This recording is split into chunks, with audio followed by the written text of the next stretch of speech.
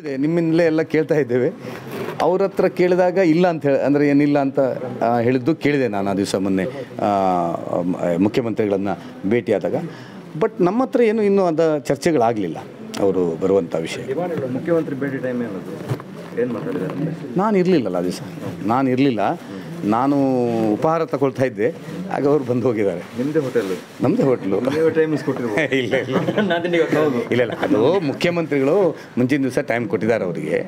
Timing ಕೊಡುವಾಗ ಅವರಿಗೆ ಯಾವುದು ಇದನ್ನು ಕೇಳಲಿಕ್ಕೆ ಅಂತ ಕೊಟ್ಟಿದ್ದಾರೆ. ಯಾವುದು ಎಂಥದೋ ಏನೋ ಕವರ್ ಏನಾಯ್ತು ನನಗೆ ಗೊತ್ತಿಲ್ಲ ಅದು.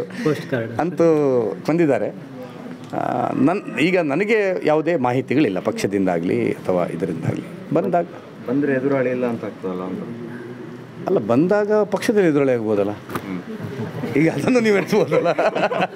ಅಲ್ಲ ಅಲ್ಲ ಪಕ್ಷದಲ್ಲಿ ನೀವು ಹೇಳ್ತಾ ಇದ್ರಲ್ಲ ಹೊಸತನ ಅಂತ ಅದಕ್ಕೂ ಎದುರಾಳಿ ಆಗ್ಬೋದಲ್ಲ? ಅದನ್ನೆಲ್ಲ ಎಣಿಸ್ಬೋದು ಹಾಗೇನಿಲ್ಲ. ಎದುರಾಳಿ ರಾಜಕೀಯದವನಿಗೆ ಯಾವತ್ತೂ ಪಕ್ಷದೊಳಗೂ ಇರ್ತದೆ ಎದುರಲ್ಲಿ ಇರ್ತದೆ.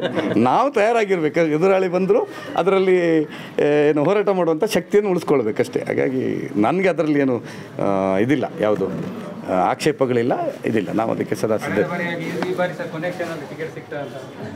ಯಾರಿಗೆ?